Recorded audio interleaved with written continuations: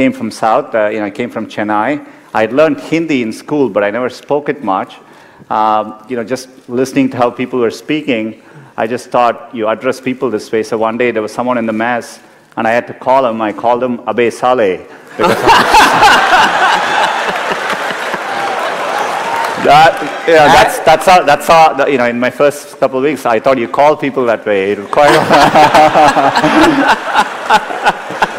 you know, and, and uh, next thing I know, the, uh, the, the folks in the mess were quite upset, and I think they temporarily closed down the mess.